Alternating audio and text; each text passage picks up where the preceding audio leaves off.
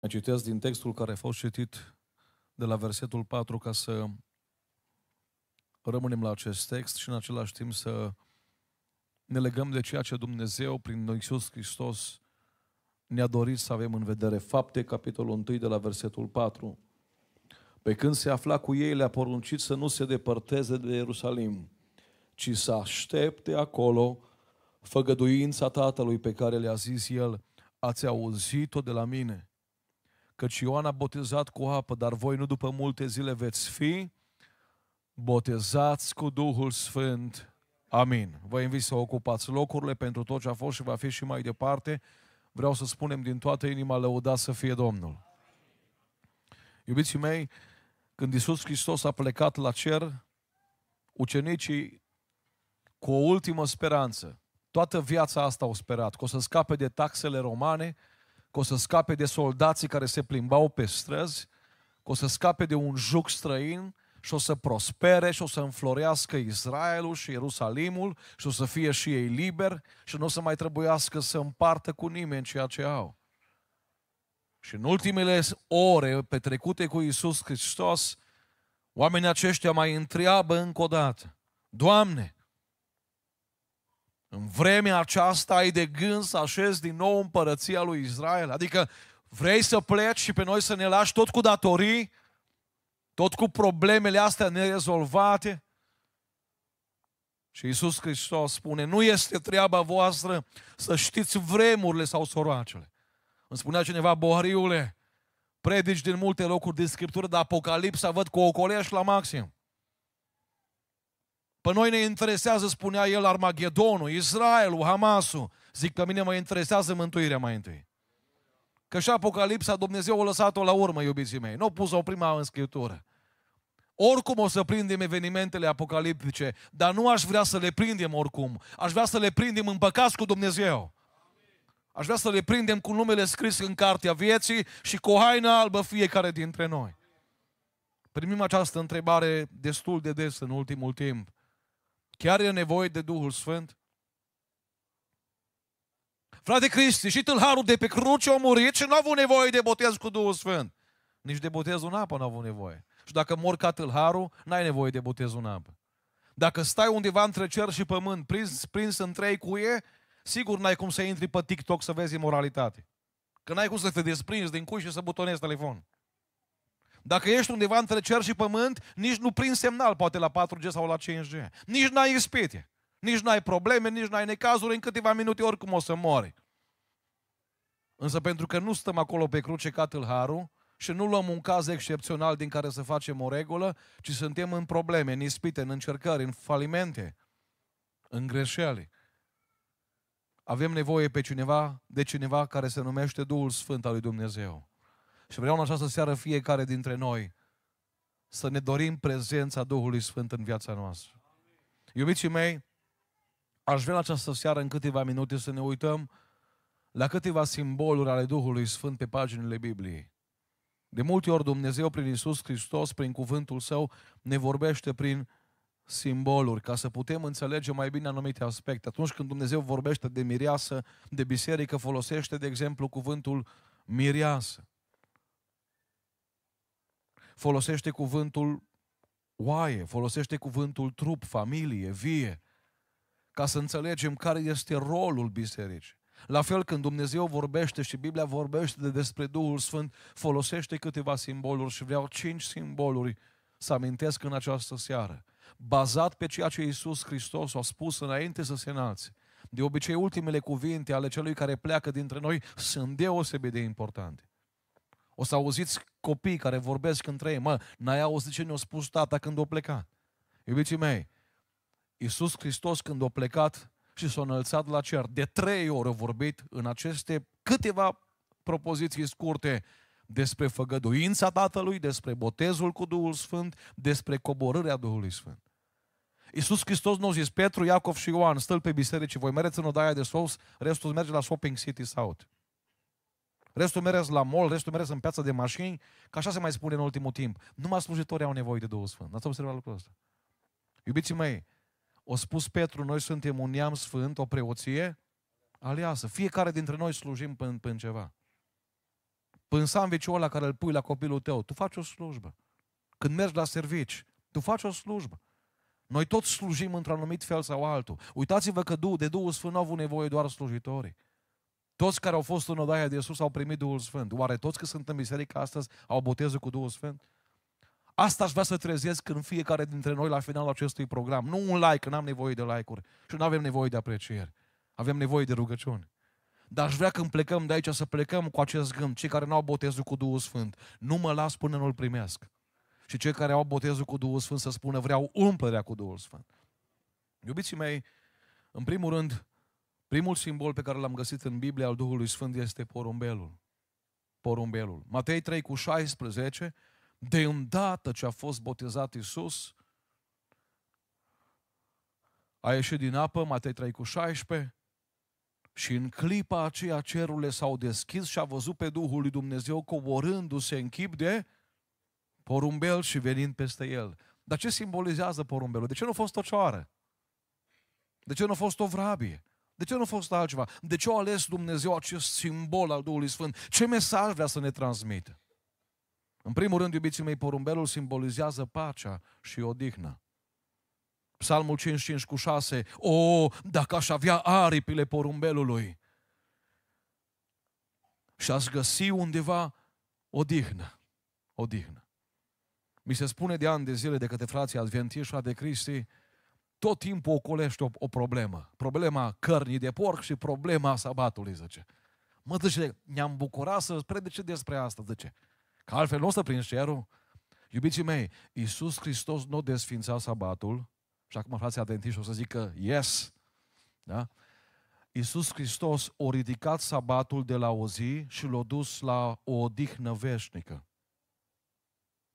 Veniți la mine toți cei trudiți și veți avea o odihnă. Nu mai e doar o zi în care ne odihnim. Există o stare de odihnă a omului care se întâlnește cu Isus Hristos. Biblia spune în Galaten 5 cu 22 că una din roadele Duhului Sfânt este pacea. Aproape în fiecare zi mă întâlnesc cu persoane care n-au pace. Am fost la o conferință cu tinere și cea mai votată întrebare să răspund la ea a fost despre depresie și despre sinucidere. Tot mai multe persoane suferă de aceste probleme. Nu mai au pace în relații, nu mai au pace în familie, nu mai au pace în ei înșiși. Iubitul meu, vreau să spun astăzi ceva.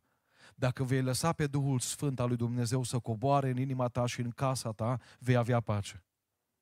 Porumbelul simbolizează pacea. Nu o să vedeți și n-am văzut în viața mea, am 38 de ani, n-am văzut un porumbel care să se certe cu o cioară, care să facă scandal.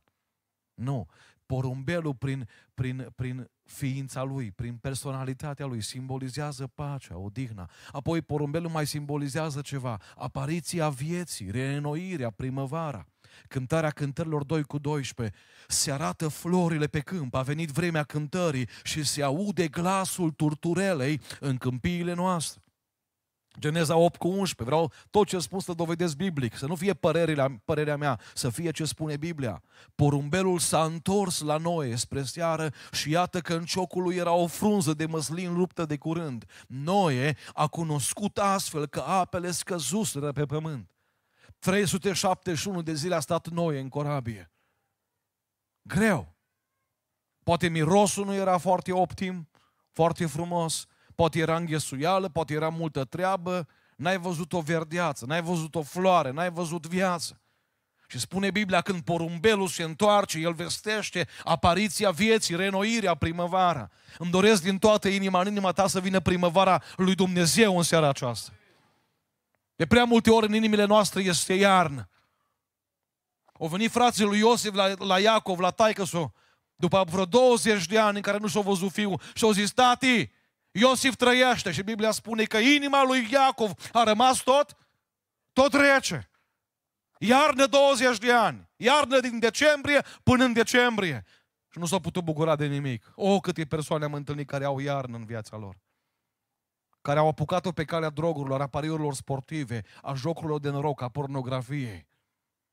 Și au impresia că ceva îi va sătura, că îi va ajuta. Nu. Diavolul va aduce iarnă în viața ta, în familia ta. Totul va fi numai frig, numai rece. Dar am o veste bună, când vine Duhul Sfânt, El aduce primăvara. Pentru Noe, venirea porumbelului a fost o mare încurajare. Pe diapsa se terminase, începea o nouă viață, pentru că Dumnezeu pe care eu îl cunosc oferă și astăzi șansa unui nou început. Amin.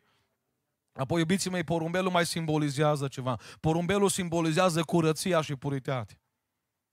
Iertați-mă, nu o să pronunț numele animalelor, dar voi știți la ce mă refer. Am văzut animalele alea în, în cocină, în baltă, dar n-am văzut porumbel în baltă în viața mea. Nici în măl, nici în gunoi. Pentru că în 1 Tesaloniceni 4 cu 7, Pavel spune căci Dumnezeu nu ne-a chemat la necurăție, ci la sfințire. Toată biserica, ă, ă, tuturor le place când le spui doar să ridici o mână sus. E primul pas. E primul pas. Dar apoi viața noastră cu Duhul Sfânt, iubiții mei, este o viață de, de sfințire, pentru că Duhul Sfânt locuiește într-un vas curat.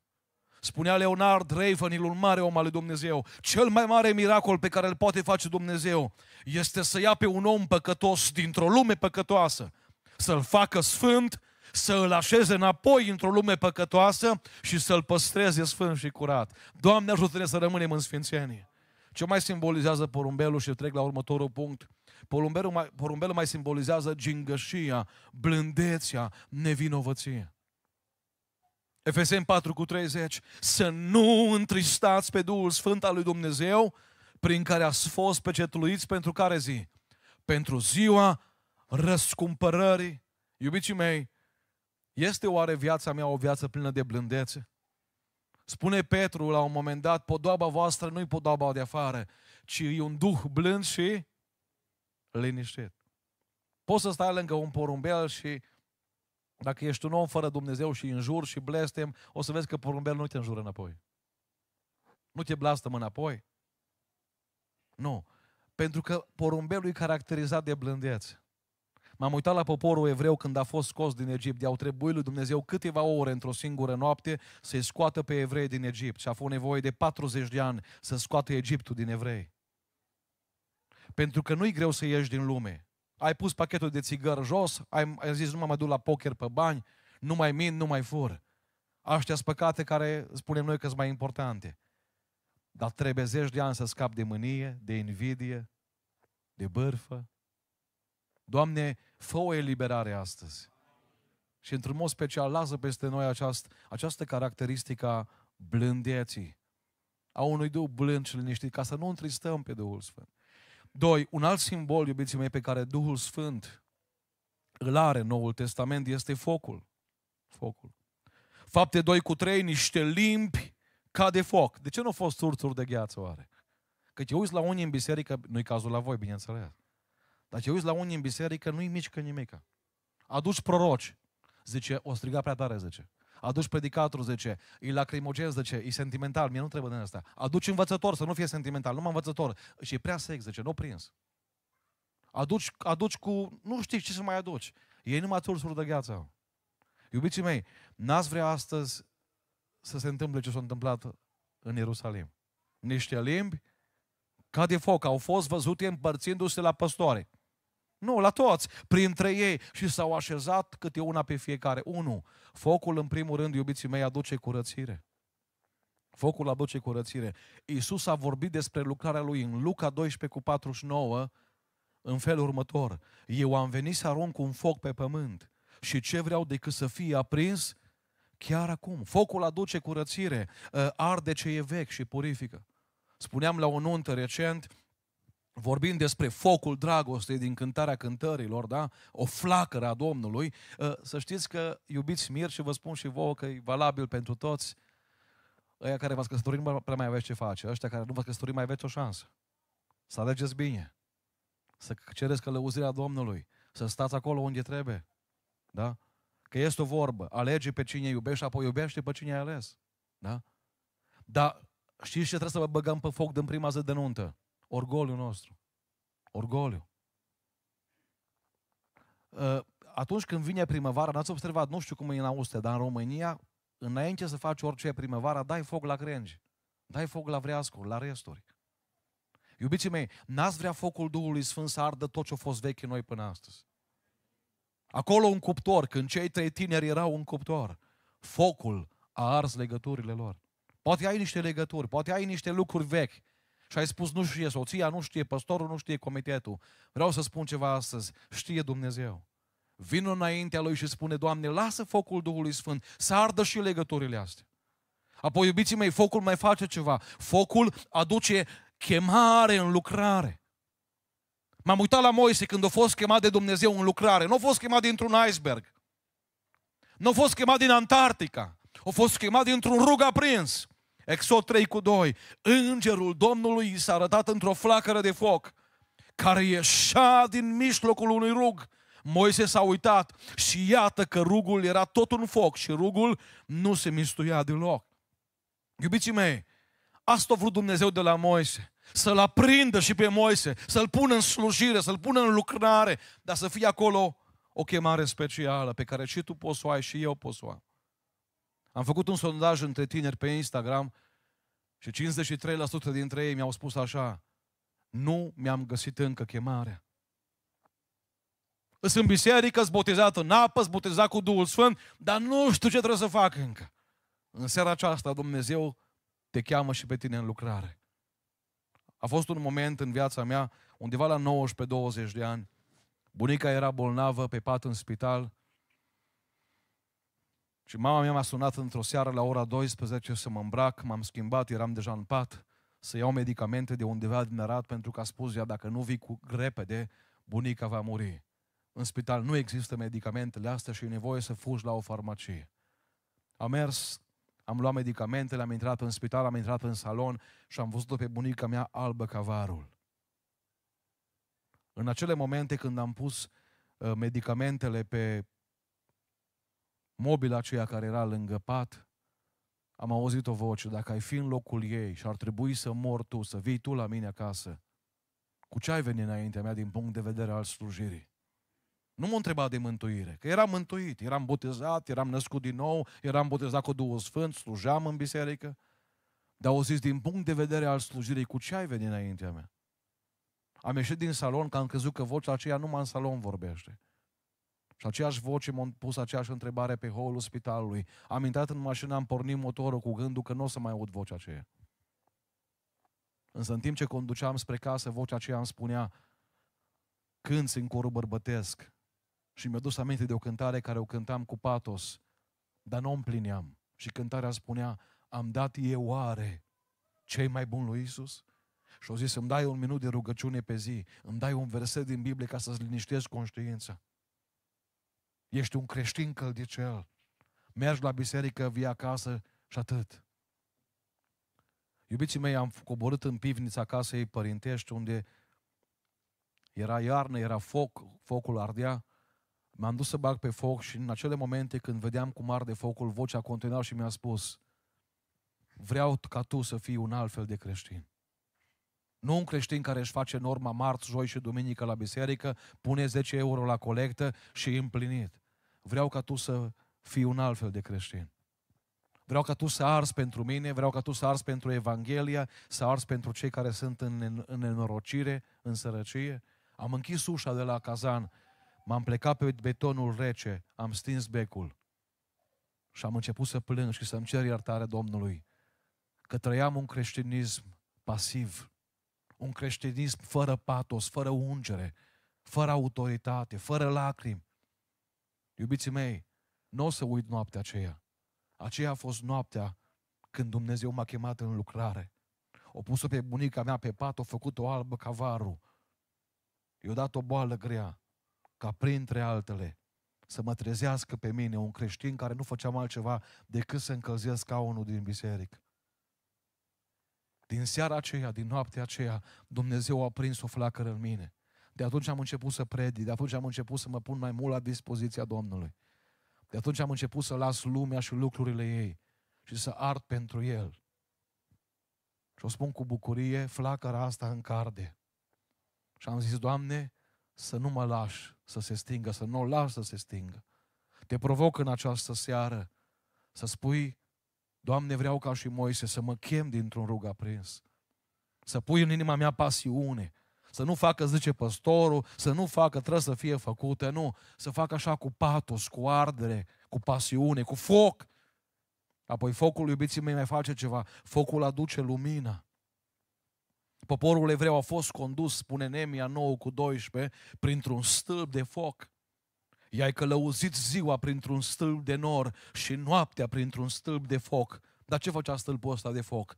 Le lumina drumul pe care aveau să-l urmeze.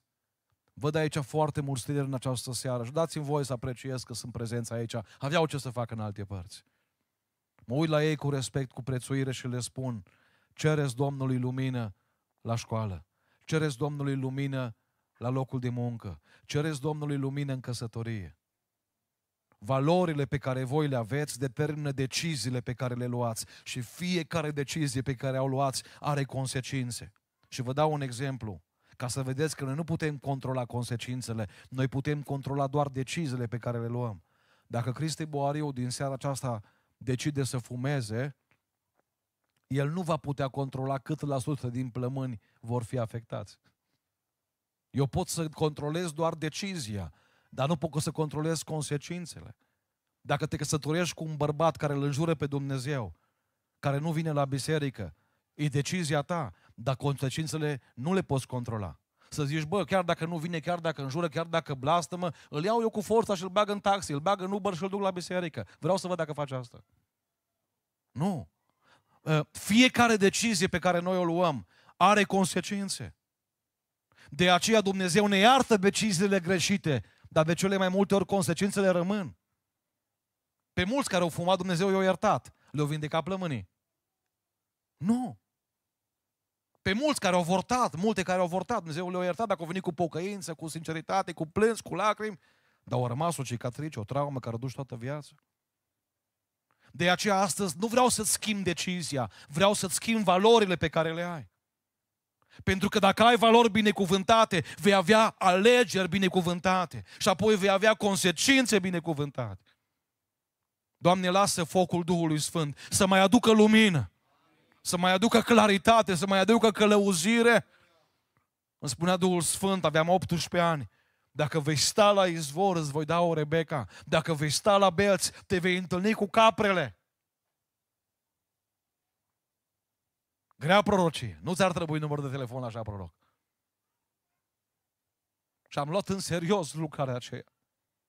Și am mers în Timișoara și am zis, vreau în fiecare marți.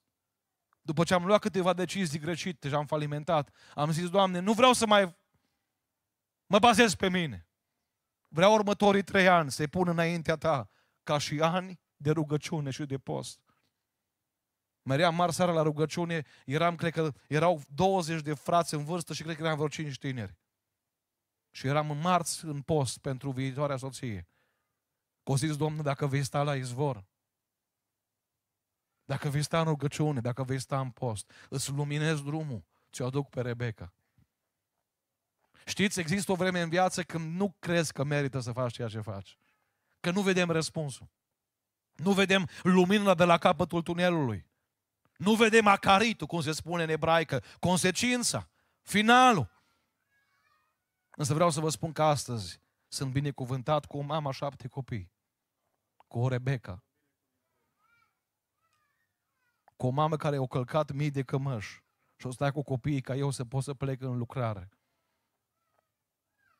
cu o soție cu care ne duce mântuirea până la capăt. Dumnezeu care mi-a dat mie o Rebecca, îți poate da și ție, tânărule, o Rebecca. Dar cere Duhul Sfânt, cere focul Lui, cere lumina Lui. Ca să nu o dai în bară. că sunt tot mai multe divorțuri. Și sunt tot mai multe fete care deschid uh, urechea și vor să audă că băiatul le spune ce le place, nu ce au nevoie să audă. E mare diferență. Apoi, iubiții mei, știți ce mai aduce focul? Uh, mistuirea pentru o cauză bună. Citeam aici pe scaun din Biblie până a început programul și m-a mișcat un verset din 1 Corinteni 15. O zis Pavel, harul lui Dumnezeu pentru mine nu a fost zadarnic, că am muncit mai mult decât toți.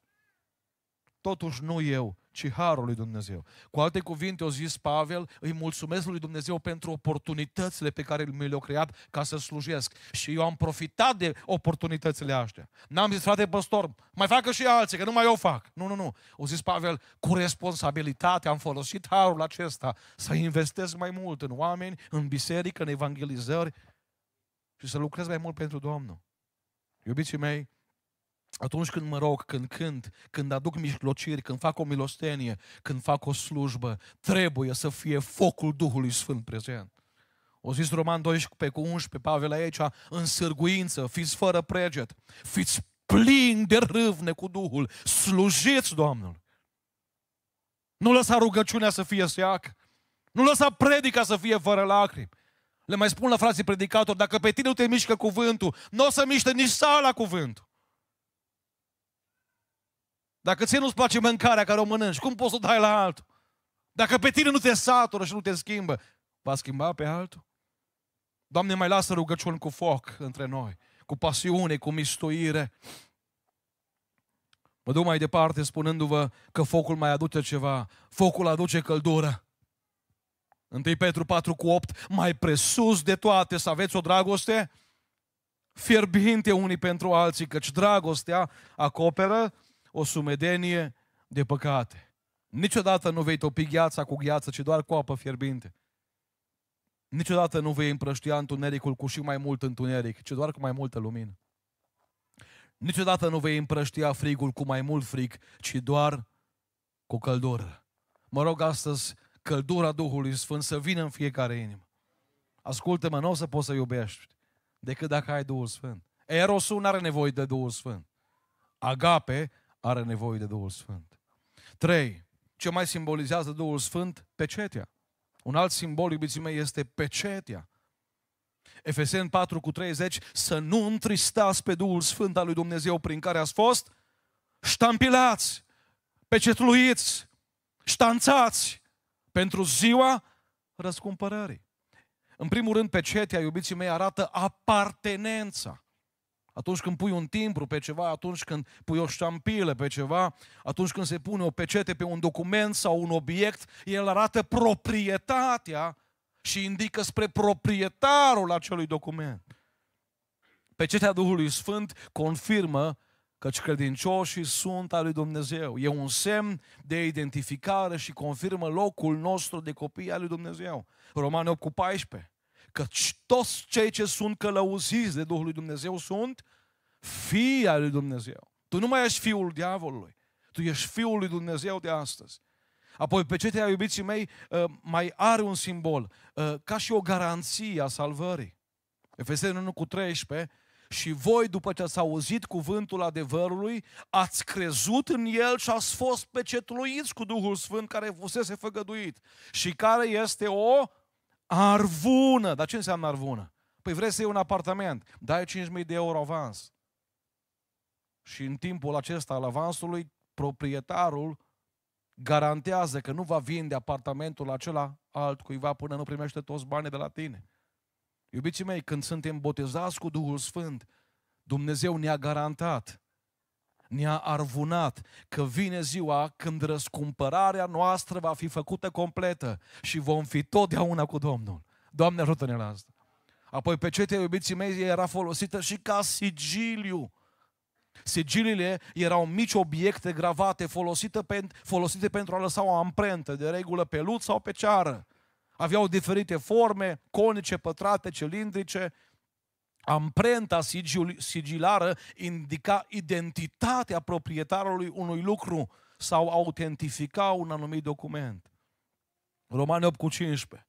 Și voi n-ați primit un duh de robie ca să mai aveți frică, ci ați primit un duh de înfiere care ne face să strigăm Ava. Cu alte cuvinte, când sunt botezat cu Duhul Sfânt, când sunt umplut cu Duhul Sfânt, eu pot să strig Tată pentru că eu aparțin lui Dumnezeu, slăvit să fie Domnul.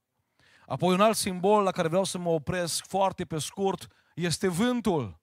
Vântul. Fapte 2 cu 2, deodată a venit din cer un sunet ca vâjâitul unui vânt puternic și a umplut toată casa unde ședeau ei. Iubiții mei, în primul rând, vântul are această proprietate că este invizibil. Vedeți, noi vedem frunzele care le mișcă vântul, vedem copacii care se înclină, dar vântul în sine nu-l vezi. Vântul este invizibil, la fel ca și vântul. Nu-l poți vedea pe Duhul Sfânt, dar poți vedea transformarea pe care o face Duhul Sfânt. Deseori oamenii pe care Dumnezeu îi folosește sunt tot așa ca și vântul, sunt invizibili prin slujirea lor, dar de cele mai multe ori efectele sunt deosebit de vizibile. Citeam despre Leonard Raven, el a fost păstor la un moment dat câțiva ani în Oldham, în uh, Anglia, și biserica lui ajunsese la 500 de persoane. Era bucuros, era uh, satisfăcut și de multe ori se uita așa un pic de sus la o altă biserică de o altă denominațiune care avea doar 50 de membri. Și într-o zi, într-o seară de duminică a auzit o voce și vocea a spus așa, nu ești cel mai important, nici cea mai spirituală persoană din biserica aceasta. Cu alte cuvinte, nu din cauza ta am lucrat, o zis Domnul. Și Ravenhill, cu teamă, cu reverență, a zis, Doamne, dar cine e? Și Domnul i-a spus, o vezi pe sora aceea în vârstă, mică de înălțime, cu boneta legată aici în față?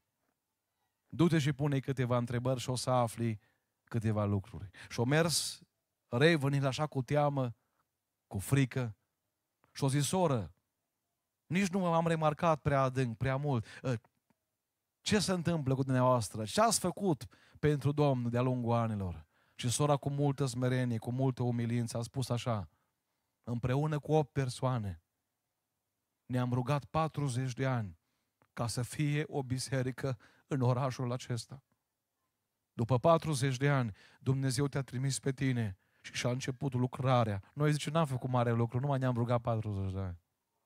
Extraordinar. Mă uit la tinerii noștri, nu știu dacă sunt și la voi, să roagă două, trei zile și apoi spune, n-ai numărul la un proroc, că n-am răspuns la rugăciune, zice. Cine să mai roagă? Un an, doi, trei? Da, 40. Iubiții mei, m-aș bucura și astăzi Dumnezeu să se mai folosească de persoanele invizibile. Acolo unde te-a pus Domnul, poate să mijlocești, poate să postești, poate să faci ceva ce nu vede nimeni, dar vede Dumnezeu. Slăvit să fie numele Lui. Apoi ce vreau să mă mai spun este că vântul își poate schimba direcția foarte ușor. Foarte ușor. Ioan 3 cu 8, vântul suflă încotro vrea și îi auzi vuietul, dar nu știi de unde vine, nici încotro merge. Tot așa este cu oricine este născut din Duhul. O să vi se întâmple în viața voastră, după ce aveți botezul cu Duhul Sfânt, să vedeți cum dintr-o dată vă vine un gând, o idee, un impuls al Duhului să faceți ceva. Numai că trebuie să-și asculți de impulsul acela.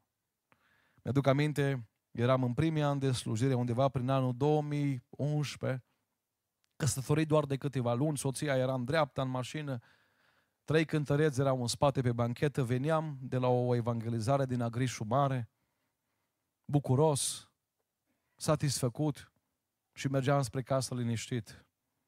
La un moment dat la șeria, într-o curbă de 90 de grade, după ce am luat curba, am văzut în fața mea cum un om biat încearcă să se urce pe bicicletă, nu reușește, merge așa cârn cu bicicleta și cade în șanț. Era un minus câteva grade afară, era rece, el era într-o cămașă.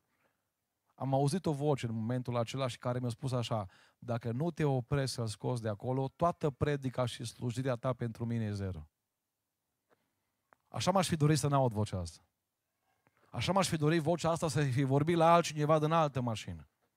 Am frânat puternic, soția s-a speriat, cei din spate s-au speriat. M-am dat jos. M-am dus așa la omul acela, așa un pic stânjenit. I-am întins mâna, l-am ridicat de acolo. Se formase deja o poșghiță subțire de gheață în mâlul acela. Era murdat din cap până în picioare cum o căzut.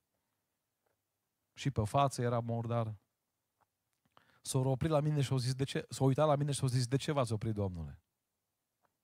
Și i-am zis pentru că în urmă cu câțiva ani, pe strada vieții mele, când eram căzut în șanțul păcatului, al unei religii cu două fețe sau cu mai multe, s-a oprit cineva pe nume Iisus Hristos. Dar au zis, dar nu vezi cum miros? Mirosea îngrozitor. Mâlul acela care era acolo stătut în șans poate de săptămâni întregi, o impregnat pe cămașa lui, pe pantaloni, un miros groaznic. Și m-am uitat la el și am zis, ba da, știu cum miroși, dar eu miroseam mai rău ca tine. Că eu spuneam poezii în biserică. Și la școală mințeam cu colegii. Tu măcar vii din birt, tu nu ai venit din biserică. Miroseam mai rău ca tine, am zis. Dar cel care m-a îmbrățișat, o lua mirosul meu asupra lui și o mers la calvar cu el și o murit în locul meu. L-am scos de acolo și mă gândeam să nu știu, să-i pun bicicleta în mână, să las așa să meargă pe lângă ea până acasă. Însă vocea au continuat și au zis, eu nu te-am scos doar din șanț, ci te-am dus acasă. I-am zis, vreau să mă duc cu tine până acasă, împreună cu ceilalți, să te ducem până acasă. O zis, domnule, eu stau departe. Zic, nu ne grăbim. Noi merem spre veșnicie, avem timp cu grămada. N-am unde să mă grăbesc. M-am băgat în mașină pentru că eram singurul șofer, soția era în dreapta, cântărețul ieșit afară, unul ținea bicicleta, altul ținea de un braț, altul de altul și meream înainte. În mașină era cald, era frumos, afară erau minus grade. L-am văzut din mașină cum tremura de frig, pentru că noroiul acela a început să se răcească pe el. Și din nou, o voce pe care și voi o cunoașteți mi-a spus, dă-te jos și dă-i vestonul tău, dă-i haina ta. M-am dat jos, am vrut să pun haina mea pe el și el a zis, Domnule, nu puneți haina asta că e curată, e nouă. Păstă noroi. Zic, ă, lasă-mă să o pun că și peste mine s-a pus haina lui Isus Hristos. Așa bucuros era cu costumul meu, așa frumos merea înainte. Am ajuns în fața casei și a ieșit soția la poartă. M-au mișcat mult cuvintele soției și nu pot să le uit până mor. S-a uitat la noi și nu au zis că suntem pentecostali. Slăvit să fie Domnul că nu au spus la pentecostal. Nici ortodox nu au zis. Au zis așa, e că sunteți pocăiți. M-am oprit o secundă să văd dacă am pește pe mașină. Că mulți au pește pe mașină, nu mai au apă la el de mult. Știți? Iertați în comparație. Numai cu peștele a rămas. Cu sigla. O plecat de mult, tot apa. Dar nu aveam pește pe mașină. Apoi m-am gândit, mă, au văzut Biblia pe bord? Dar nu era Biblia pe bord. Deși obișnuiesc să o pun pe bord când intru în mașină și plec de la evangelizare. Și am zis, dar de unde știți că suntem pocăiți? Și au zis, domnilor, în fiecare lună când ia salarul bărbatul meu, nu vine acasă singur. În fiecare zi de salar, mere în birt și apoi eu, pe la două, trei noaptea, mă duc să-l caut. Știu că o cam terminat și mă duc și-l caut.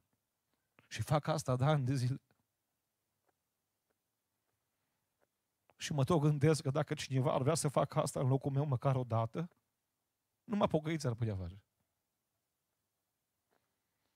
Un cântăreț a scos 50 de lei din buzunar și a zis, Doamnă, nu știu cât o consumat de el în seara asta, dar n-am mai mult să vă dau. Dar vă dau banii ăștia. A început să lăcrimeze femeia. Și acum îmi pare rău, după vreo 12-13 ani de atunci, că atunci când a intrat în casă, i-am cerut costumul să mi-l dea înapoi, de parcă stăteam în haina aceea. Iisus niciodată nu m-a cerut să-i dau haina înapoi. De câte ori răspund zona șiriei, pâncota, mă tot gândesc că poate la o predică să ridică în picioare omul ăsta. Nu l-am mai văzut niciodată. Dacă și el sunt mii de oameni în România. Însă am înțeles în seara aceea că am o meserie de la, în partea lui Dumnezeu și o ai și tu și o aveți și dumneavoastră și dumneavoastră să ducem oameni acasă. Să le arătăm direcția și să-i scoatem din mâlul păcatului. Și să nu mai, mai uităm dacă miroase urât sau frumos. Că știți voi cum am mirosit și noi. De au venit slava lui Dumnezeu. Și nu s-a mai uitat Iisus la mirosul nostru, ci s-a uitat la sângele Fiului Său. Lasă vântul Duhului Sfânt să-ți șoptească când trebuie să te oprești din alergare. Când trebuie să pansezi o rană. Când trebuie să faci o schimbare. Că la asta vreau să mă duc ultimul rând la un dilemn. 1 Ioan 2 cu 27, cât despre voi ungerea pe care ați primit-o de la El rămâne în voi și nu aveți trebuință să vă învețe cineva, ci după cum ungerea Lui vă învață despre toate lucrurile, lucrurile și este adevărată și nu există minciună, rămâneți în El după cum v-a învățat ea. Iubiții mei, unde lemnul în Vechiul Testament era folosit pentru ungerea anumitor obiecte care astfel deveneau sfinte. Nu mai citesc, dar spune 1 Corinteni 3 cu 16 că Duhul Sfânt este o ungere pentru trupul nostru care devine astfel templul Duhului Sfânt. Nu știți că voi sunteți? Pentru aia nu mai pot să fac ce vreau cu trupul meu. Voi sunteți templul Duhului Sfânt și Duhul lui Dumnezeu locuiește în voi. Apoi unde lemn nu mai era folosit pentru ceva. Când Samariteanul se oprește în Luca 10 cu 34, lângă cel căzut, spune Biblia, s-a apropiat de a legat rănile și a turnat peste ele. Unii, unii știți ce fac? Numai oțet toarnă pe noi. Oțet și piper. Nu. Dacă tot e oprit, toarnă unde lemn. E adevărat că noi de la Amvon mustrăm pe cei sănătoși ca să nu se îmbolnăvească, dar pe ăia bolnavi nu mai îi mustrăm, ci îi tratăm. Știți? Că dacă și pe ăla care e bolnav deja îl lovești, nu mai faci nimic. Iubiții mei, ă, când a fost ultima dată când ai adus o alinare pe rana cuiva? Când a fost ultima dată când te-ai oprit în dreptul cuiva și prin cuvintele tale omul acela a fost ridicat, a fost mângâiat? Uitați ce spune Ioan 14 cu 16. Eu voi ruga pe Tatăl și El vă va da un alt mângâietor care să rămână cu voi în viac. Lasă-L pe Duhul Sfânt prin mâinile tale, prin viața ta, să acopere rănile altora, să panseze rănile altora, să aducă o bucurie în viața cuiva. Spuneam aseară la o altă biserică aici în Austria, că lângă Deva am avut o soră pe nume sora Zina. Tot îmi scria epistole întregi pe Facebook, pagini întregi, dar nu prea aveam timp să le citesc. Uneori când îmi scria scurt la subiect, îi răspundeam. Și într-o zi m-a scris scurt la subiect și a zis, de Cristi, la tine în casă e cald? Era iarnă. Și am zis, da, e cald, cum să nu fie cald? E 22 de grade. Sunt copii, nu pot să mă joc cu asta. O să la mine e frig, zice. La mine e frig. Uh, zic, dar de ce e frig? N-aveți bani de lemne?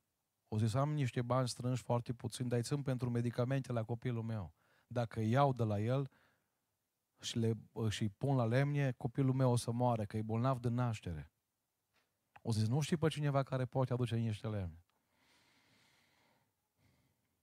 O trecut vreo trei zile de la mesajul acela, un mesaj trist. Și nu mă văd că sora Znena scrie pe Facebook. Frate Cristi zice, am văzut îngeri. Mă zic, eu sunt păstor și n-am văzut îngeri. Cum mai văzut un înger? Zic, hai să vedem, să verificăm Biblie, cum arătau îngerii pe care i-ai văzut. Păi zice, aveau, aveau topoare și drujbe. Zic, nu se poate așa ceva. Cum să îngeri cu topor și cu drujbă. Zic, nu erau îmbrăcați în alt? Zice, nu. Nu, dar zic explicații, că deja m-ați băgat în ceață. Păi zice, ă, aseară mă plimbam pe în casă. Că atunci când e frig, nu stai la masă, nu stai pe scaun, te plimbi, să te mai încălzești. Și ajung pe lângă jam și mă uit pe stradă și nu mă văd că se oprește o mașină. Și mașina avea niște lemne încărcate, ridică partea din spate, golește lemnile, eu am crezut cu greșit adresa, pentru că eu n-am comandat lemne. Poate cineva de mai jos de drumul meu o fi comandat. Apoi întoarce mașina, pune farurile pe lemne și coboară doi tineri din mașină, unul cu drujbă și unul cu topor. Taie lemnele, le crapă frumos. Eu zice, eu eram la jam și nu mă plângeam. Doamne, oare a mele? Așa. Ce fain ar fi să fie a mele. Și nu mă văd, zice, nu mă văd că uh, să uită spre geam către mine și spune, Doamne, vă supărați dacă le băgăm în, înăuntru în curte și le aranjăm frumos, numai să le băgați pe foc. Frate Cristi, nu știu cine a fost. Dar nu mi-a adus căldură numai în casă, mi-a adus căldură și în inimă. Să le spui din partea mea, dacă îi cunoști, că pentru mine au fost îngerii lui Dumnezeu și până o să mor, o să mă rog pentru ei. Nu mai trăim mult, nu au apucat să se roage mult. Cred că vreo trei săptămâni au mai trăit. Nici nu au apucat să termine lemnele. Însă spuneam aseară și vă spun și vouă astăzi, trec uneori pe lângă casa acestor băieți. Sunt căsătoriți astăzi, sunt cu familii, sunt binecuvântați. Și mă uit uneori așa când trec cu mașina mea pe lângă ei și nu îi invidiez. Ci mă uit la binecuvântările pe care le au și îmi dau seama că o femeie, înainte să facă infarct, când băga niște lemne pe sobă, o zis, Doamne, binecuvintează oamenii ăștia. Știți, poate multe din binecuvântările pe care le avem, nu le avem din cauza noastră, ci pentru că cineva se roagă pentru noi. Te-aș provoca astăzi să lași pe Duhul Sfânt ca prin mâinile tale să mai ungă o rană, să mai rezolve o problemă, să mai acopere o nevoie. Și în ziua când va trebui să pleci de aici, să ai bucuria asta, că ai folosit ocazele pe care Duhul Sfânt ți le-a pus în față ca să lucrezi pentru El. Mă apropii de încheiere, iubiții mei, și aș putea să mai spun câteva lucruri, dar nu mai spun nimica, decât să vă spun cum am primit eu botezul cu Duhul Sfânt. Nu fac asta decât ca să motivez pe cei care n-au încă botezul cu Duhul Sfânt să insiste înaintea Domnului. Și apoi vom cânta cu fratele Manu, cântare, ne vom ruga. Eram clasa a șaptea, clasa a șaptea și mă comportam la multe aspecte ca unii din colegii mei. Însă într-o zi, colegii mei mi-au spus să mergem mai departe, să ne îndepărtăm mai mult de Domnul și mi-au spus, hai să fumăm în toalete. Parcă în momentul ăla, parcă ceva m-a lovit așa, mă zic, dacă și la asta ajung să le fac și pe astea, nu știu dacă mă mai întorc în grabă. Din familie de penticostali, poezii în biserică, mai cântam. Dar pas cu pas m-am îndepărtat. În momentul ăla s-a născut în inima mea o dorință. Trebuie să fac o schimbare de 180 de grade. A fost o evangelizare în zilele acelea în Arad și la o chemare care s-a făcut, eram pe ultimul rând, aveam 14 ani. Am venit în față, cu lacrimi am predat viața Domnului. Apoi am auzit că este stăruință la o biserică din Arad, după câtva timp, câteva săptămâni. Și a zis păstorul că în fața aici, pe scenă, la unde era corul, să vină cei care vor să stăruiască. Eu m-am dus înainte să mă cheme, că tângea inima mea după prezența Lui. Mi-am dat seama că o ieșire în față nu e suficientă, că mâine iar o să mă cheme să fumăm, să facem prostii și am nevoie de o putere ca să mă împotrivesc o putere mai mare decât cuvintele mele. Și eram acolo în față bucuros că începe seara pe stăruință și se uită fratele păstor și zice, Boariule, cât să ne ai 14? Jos, zice, jos. Am plecat acasă așa de supărat. N-am știut atunci, am înțeles mai târziu că întotdeauna Dumnezeu înainte să te înalți, te zdrobește. Și diavolul înainte să te zdrobească, întotdeauna te înalți. Să nu uitați ce vă spun astăzi, iubiții mei. Am dus acasă, am zis, băi, eu nu mai, în veci. Acum un păstor, mă, să fac asta. Dar apoi m-am gândit, mă, dacă Dumnezeu a îngăduit asta, ca să mă smerească, să mă umilească. Că n-ai, dacă ții paharul la tavan, n-ai cum să torni în el de aici, nu? Trebuie să pui paharul mai jos decât e robinetul ca să torni în el. Mă, dacă Dumnezeu a vrut să mă coboare. Apoi, după câteva zile, m-am dus la altă biserică și am zis, nu mai fac prostia de prima seară. M-am dus la mărturisire, că am înțeles că vasul trebuie să fie curat ca să pui ceva în el. Și am zis, când începe stăruința, eu pun mâinile la ochi și mă uit așa, să nu mă vadă păstorul și nimeni. Și când începe rugăciunea, atunci mă duc și eu în față. Așa e că dacă ai vedea în seara asta un băiat de 14 ani, că vine aici în față, te-ai uitat la el, bă, ce mai vrea și asta? Să nu disprețuiți un copil sincer. Acolo poate fi un Cristi Boariu, poate fi un Manu Negre, poate fi un viitor slujitor. Așa am făcut. Am închis ochii, am pus mâinile la ochi și apoi am deschis ochii. Și când am văzut că toată biserica începe să se roage, m-am dus în față. Și am simțit că vine cineva lângă mine. A venit un frate mai în vârstă, prezbiter, am început să mă gândesc, mă, dacă cumva o să-mi zică să plec acasă. Însă omul acesta lui Dumnezeu a pus mâna peste mine și s-a rugat împreună cu mine. Au trecut poate maxim 10 minute și am început să vorbesc în alte limbi. Se coborâse Duhul Sfânt. Eu nu-l meritam.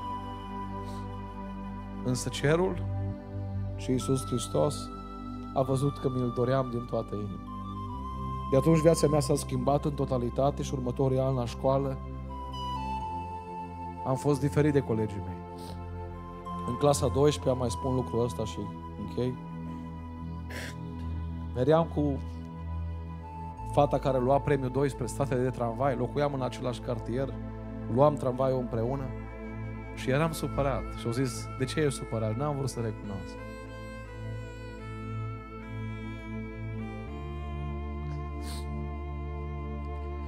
Mi-aș fi dorit mult să iau premiul întâi, să fac o bucurie părinților mei, care mi-au crescut cu multe sacrificii. Însă câteva note mi-au stricat media și ea lua premiul întâi și eu luam premiul 2 și mi-era așa de supărare pe ea.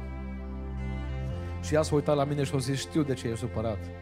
Că ești pe locul 2 și eu sunt pe locul 1. Și mi-a spus niște cuvinte apoi care n-am să le uit în grabă și a zis, Cristi, te-am urmărit până în clasa 7 că am fost colegi. Erai ca și noi, vorbeai ca și noi, făceai ce făceam noi. S-a întâmplat ceva în clasa 7. Nu știu ce. Dar de atunci ai trăit diferit. O zis, vreau să spun ceva, să te încurajez. M-aș bucura să am Dumnezeu pe care l-ai tu. Pentru că peste ani în viață îmi spunea fata asta, o fată foarte deșteaptă, nu contează ce loc ai, ce diplome și ce premii ai, ci contează Dumnezeul pe care l-ai. Și aș da orice, aș da diploma mea să am credința pe care o ai. Am spus mărturia asta ca să arăt că Dumnezeu e Cel care botează cu Duhul Sfânt, dar e și Cel care ne ține. Și am spus mărturia aceasta ca să te motivezi și să spun că Dumnezeu și astăzi, în 2024, mai împarte haine albe, mai curăță vase, nu disprețuiește începuturile slabe și te umple cu Duhul Sfânt. Au trecut ani și îi mulțumesc că nu m-a părăsit. Am fost onorat și bucuros de când m-am plecat cu păstorul vostru pe genunchi să vorbim amândoi în alte limbi și să simțim prezența Lui aici. Dar mai bucuros sunt acum la final că putem să ne ridicăm în picioare. Să cântăm împreună și apoi să ne rugăm.